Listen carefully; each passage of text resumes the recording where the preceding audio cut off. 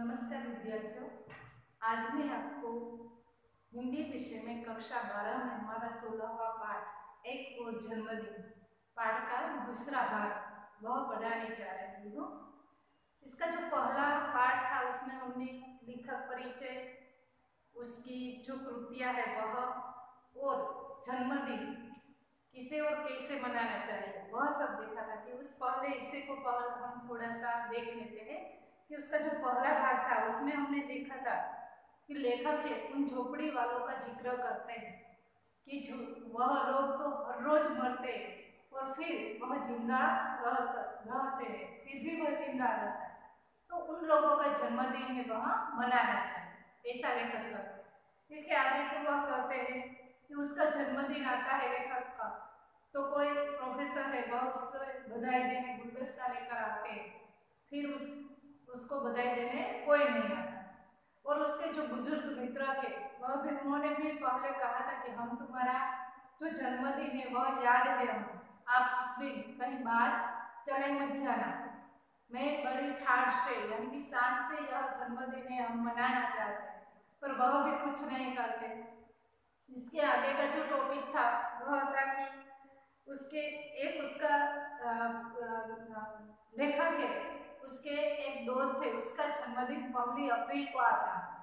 जब वह समझाने चाहते कि उसके जन्मदिन पहली अप्रैल को है और इन सबको अभिनय आमंत्रित करते हैं तो सब लोग उसे अप्रैल फुल समझ लेते हैं कि उसे मूर्ख समझ लेते हैं और उसके जन्मदिन पर कोई हाजिर नहीं रहता। फिर लेखक है और उनके मित्र है, वह एक साल एक साल सौ लोगों के घर गए और कहा कि हाँ पहली अप्रैल को ही उसका जन्मदिन है।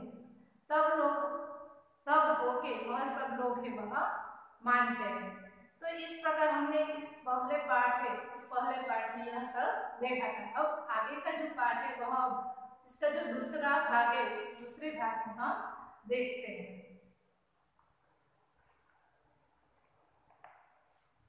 एक नेता उनतीस फरवरी को पैदा हो गए। चार साल में एक बार आता है। वह हर साल अट्ठाईस फरवरी को उदास रहते हैं। हाय हाय करते हैं।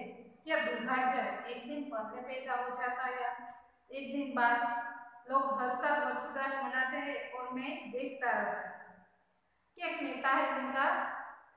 जन्मदिन, उनतीस फरवरी को, उसका फरवरी को वो पैदा हुए थे। तो उनका जन्मदिन है, वह चार साल के बाद आता है। कि चार साल में एक बार आता है तो वह हर साल 28 फरवरी है तो वह उदास हो जाता है। कि हर एक व्यक्ति है कि वह हर साल जन्मदिन मनाते हैं पर उसका जन्मदिन कि चार साल के लिए आता है, चार साल बाद के लिए आता है तो वह उदास हो जाते हैं और वह अपने आप को दुर्भाग्य समझने लगते हैं कि के वे एक दिन पहले या फिर एक दिन बाद पैदा होते हैं। तो कि मैं भी अपना जो यह जन्मदिन है, वह हर साल मनाता है। इधर पिछले साल से मेरे अभिनंदन की बात चल रही है। लोग कहते हैं, काफ़ी साल लिखते हो गए, लिखते हो गए अब आपका अभिनंदन ज़रूर करेंगे। इधर पिछले साल से मेरे अभिनंदन की बात है, वह चल रही है कि लोग कहते हैं कि काफ़ी साल से आप लिख रहे हो तो अब तो आपका अभिनंदन ज़रूर करेंगे। ये पेशेवर अभिनंदन करता होते हैं। कि ये पेशेवर अभिनंदन करता मतलब कि उसका अभिनंदन करना है पेशा जाए पेशा यानी कि धंधा। पेशेवर मतलब कि जो धंधा करने वाला है, वह यहाँ पर लिखा है कि कोई पेशा करने वाला यानी कि पेशेवर। कोई धंधा करता है तो यह धंधे वाले अभिनंदन करता होता है। अभिनंदन करना एक धंधा भी होता है। चंदा जमा होता है, खाया जाता है, पास के एक शहर की घटना है कि वह, यह एक धंधा है इस समय चंदा जमा किया जाता है मतलब कि पैसे इकट्ठा कर किए जाते हैं। और वही रुपयों से वह भी खा भी चाहते हैं कि उसकी एक घटना है, वह लेखक यहाँ पर बताते हैं। एक वयोवृद्ध समाज सेवी के अभिनंदन का आयोजन हुआ। कमेटी बनी। चंदा हुआ, अभिनंदन के समय देखा कि कमेटी के सदस्य चंदे की शराब पीकर बेहोश पड़े हैं। कि वयोवृद्ध वयोवृद्ध मतलब कि जिसकी उम्र अधिक हो, अधिक उम्र वाला, यानी कि बूढ़ा मतलब कि जो अधिक उम्र वाला है उसे वयोवृद्ध कह सकते हैं। कि एक अधिक आदृढ़ व्यक्ति के मतलब कि वह समाज सेवी था, उसके अभिनंदन का आयोजन, उसकी कमेटी बनी और चंदा भी इकट्ठा किया। कि अभिनंदन के समय देखा कि कमेटी के जो सदस्य थे, वह उन चंदे की शराब पीकर बेहोश पड़े थे। लोगों ने कहा, भाई, उठो, उनके अभिनंदन का समय हो गए तो शराब में डूबे अभिनंदन करता बोले, किस कम्बक का अभिनंदन? वह नंबर एक का चोर है। भारत सेवक समाज का पैसा खा गए। कि जब अभिनंदन का समय हुआ कि तो सब लोग, लोगों ने कहा कि भाई उठो अभिनंदन का समय है। हो गया है तो शराब में डूबे वह सदस्य के अभिनंदन करता है, वह बोले कि किस कंबक का अभिनंदन के वह तो एक नंबर का चोर है। भारत सेवक समाज का पैसा है, वह खा गया है। उसका अभिनंदन करेंगे भला? कि उसका अभिनंदन हम कैसा करेंगे? अरे हम तो खुद उसके नाम के चंदे से अपना अभिनंदन कर रहे हैं। कि हम तो खुद उसके नाम के चंदे से मतलब उसके नाम से हमने जो चंदा इकट्ठा किया है, उसके द्वारा हम खुद का ही अपना ही अभिनंदन कर रहे हैं मतलब कि हम उसकी शराब पीकर अपना ही अभिनंदन कर रहे हैं। यह अभिनंदन मुझे पसंद आया। श्रद्धे समाज सेवी की उम्र, इन लोगों की शुभकामनाओं से बहुत लंबी होगी पर मैं बात कर रहा था अपने अभिनंदन कि यह लेखक उस पर व्यंग्य करते हैं। कहते कि यह अभिनंदन तो मुझे भी बहुत पसंद आया था। कि जो श्रद्धा श्रद्धा रखने वाला जो समाज सेवी था, उनकी उम्र भी इन लोगों के कारण अधिक बढ़, लंबी हो गई होगी बहुत लंबी हो गई होगी। बल्कि मैं बात कर रहा था अपने अभिनंदन की। अभिनंदन के उत्साहियों से मैंने पूछा, सिर्फ़ अभिनंदन पत्र और प्रशंसा दोगे या और कुछ? कि लेखक कहते कि मैं अपने अभिनंदन की बात कर रहा था कि जो अभिनंदन करता है उनको मैंने पूछा कि आप सिर्फ़ अभिनंदन पत्र और प्रशंसा ही दोगे कि और कुछ भी दोगे? वे बोले क्यों नहीं? हम लोग द्रव्य संग्रह करेंगे और आपको थैली भेंट करेंगे। कि वो बोले कि हाँ, क्यों नहीं? कि हम आपके लिए द्रव्य संग्रह यानी कि धन संग्रह मैं हम आपके लिए द्रव्य धन संग्रह भी करेंगे और आपको थैली भी भेंट करें। कि थैली भेंट करना। यहाँ पर मैंने लिखा, थैली काटना, भेंट देना, धन देकर सम्मानित करना। कि जो थैली है, उस थैली में जो द्रव्य इकट्ठा होता है मतलब जो पैसे इकट्ठा होता है, वह सब आपको भी हम देंगे। ऐसा वह अभिनंदन करता है, वह सब कहते हैं।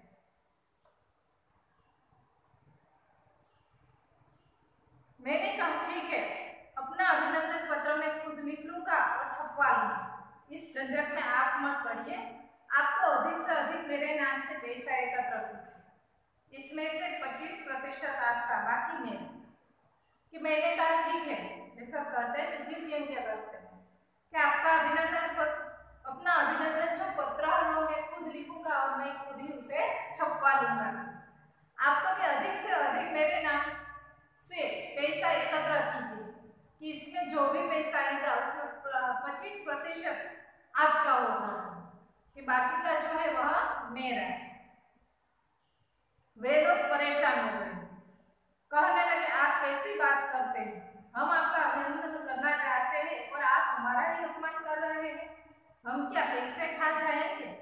कि वे लोग परेशान हो गए और कहने लगे कि आप कैसी बात कर रहे हैं? आप हम आपका अभिनंदन करना चाहते हैं और आप हमारा अपमान कर रहे हैं क्या हम आपके पैसे खा जाएँगे? मैंने कहा, नहीं, मैं अपमान नहीं कर रहा हूँ, पर आप इतनी मेहनत करेंगे तो मेरा कर्तव्य है कि आपको मेहनताना हो। मैं मुफ़्त में अभिनंदन नहीं कराना चाहता। लेखक कहते कि मैंने कहा कि नहीं, मैं अपमान नहीं कर रहा हूँ। कि आप इतनी मेहनत कर रहे हैं तो आपको मेहनताना मैं दे दूँ और मैं मुफ़्त में अभिनंदन नहीं करवाना चाहता। नतीजा बुरा हुआ। मेरे अभिनंदन की योजना अभी भी अधर में लटकी है। कि उसका जो परिणाम नतीजा यानी कि परिणाम, बुरा हुआ है। कि मेरे अभिनंदन की जो योजना थी, अभी भी अधर में लटक रही है। यानी कि अभी भी वह अधूरी है। यहाँ पर यह हुआ अधर में लटकना, यानी कि कार्य अधूरा हुआ है। तो इस प्रकार मेरी जबान में, मेरी थैली काट दी कुछ लोग फिरका परस्त होते हैं, मैं फिक्रा परस्त हूँ। फिक्रा जबान पर आ गया तो निकल जाता और उसके नुकसान में भुगतता हूँ। ये लेखक कहते हैं कि मेरी जो अभिनंदन की जो योजना थी, वह अभी भी अधर लटक गई यानी कि अभी भी वह अधूरी ही रह गई है। कि कुछ लोग, मेरी जबान पे थैली काट दी मतलब कि मैंने जो कहा, जबान काट दी, थैली काटना मतलब आर्थिक नुकसान सहन करना कि मैंने जो कहा, इसलिए मेरा आर्थिक नुकसान हो गया है। कि कुछ लोग फिरका परस्त होते हैं, मैं फिकरा परस्त हूँ। यानी कि फिरका परस्त और फिक्रा परस्त ये दोनों में फ़र्क है। फिरका परस्त यानी कि जाति संप्रदाय वादी होता है वह, और फिक्रा परस्त यानी कि भक्ति कसने वाला जो दूसरों के मुँह पर जो का त्यों सुना देता है, उसे फिकरा परस्त कहते हैं। तो यहाँ पर लेखक कहते हैं कि मैं फिकरा परस्त हूँ।